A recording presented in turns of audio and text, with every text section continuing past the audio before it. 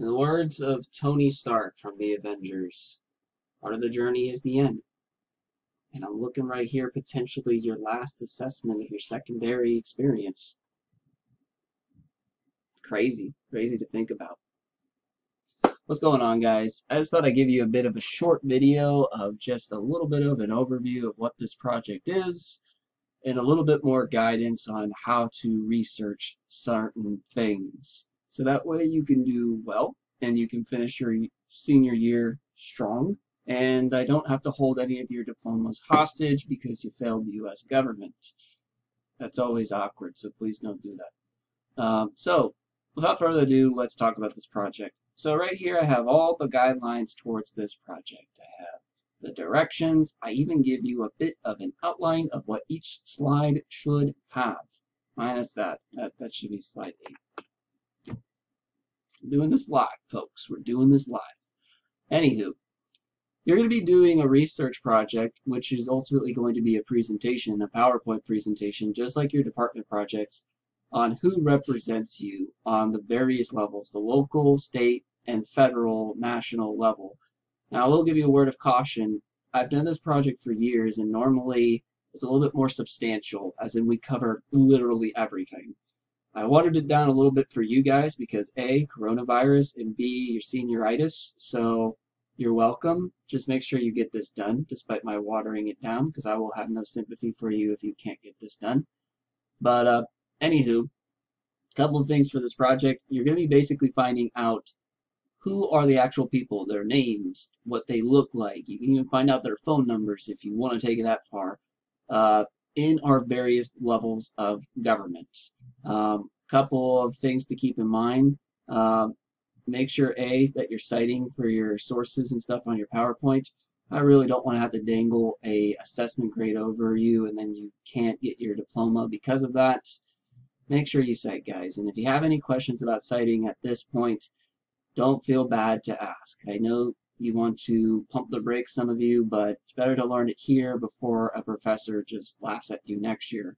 So just ask me. I'm here to help. So make sure you cite this and uh, make sure that you're not using Wikipedia. I mean, that was one of the biggest things for the last project. Don't use Wikipedia. Pictures, fine. You can use pictures from Wikipedia. Um, use Wiki Commons for that. It's easier and cites better. Even profess a lot of professors allow that. Um, but your information shouldn't be from Wikipedia. Now, with that being said, I have a ton of websites here that you can utilize to help you when it comes to research. All of these websites are acceptable, so make sure you're utilizing stuff like that. Without further ado, let's talk specifically about certain things.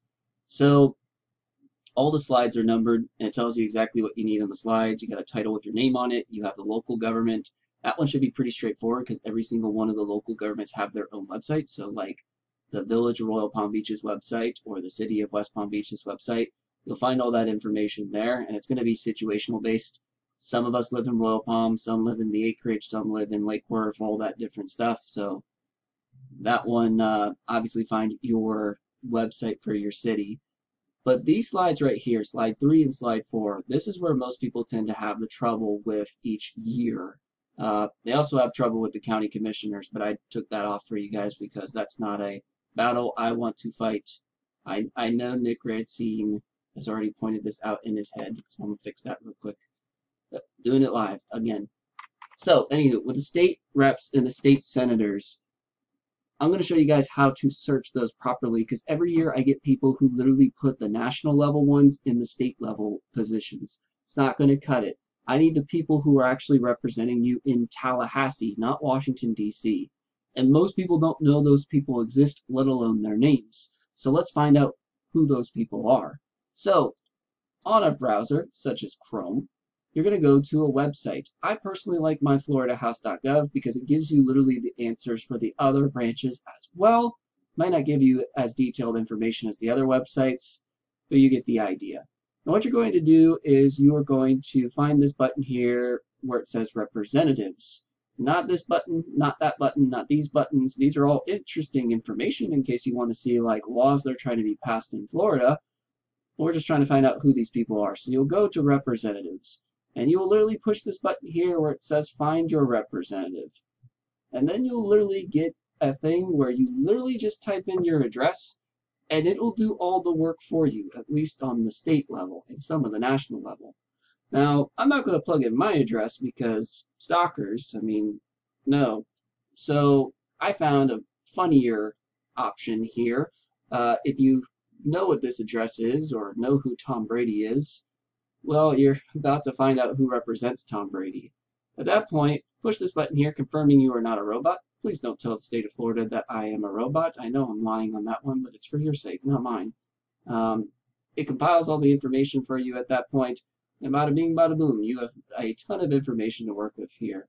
So you find your state representative. This isn't your state representative. This is for Tom Brady, not for you guys. And you'll find your state senator. You'll find even their district numbers. Again, these should not be on your project because these are people in Tampa and all that different stuff. You find even the national level representative, again, not yours, and you even have the U.S. senators right there. Uh, this website's great, especially if you want to find your representative to potentially call your representatives in Tallahassee and be like, yo, can you like try to pass this bill? Yo, thanks, yo, in that order. It literally gives all their information right here. And it'll even give you for like more specific information a little bit about them such as for this state representative here, it literally says their district number as well as what political party they are. It literally tells a little bit about a biography for all of them. Um, for the state senators and all the other stuff, you'll probably have to utilize the other websites because, again, this is dedicated towards the Florida House of Representatives. But you get the idea. The researching aspect isn't that difficult. You literally just go to this website, you go to find my representative, and you literally just plug in your address. Now bear in mind for this project, I am grading you guys based upon accuracy.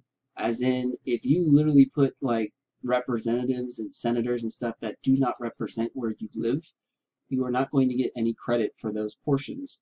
Also, if you mix them up, like for, let's say for state senators, you put Marco Rubio or Rick Scott instead of whoever your state senator is, let's say Bobby Powell, that's going to be a big chunk of points off of your project as well. So make sure you're keeping these things in mind. Other than that, it's pretty straightforward. Just follow the outline where it has all the slides. Uh, make sure you cite this. Make sure you're using good sources such as these.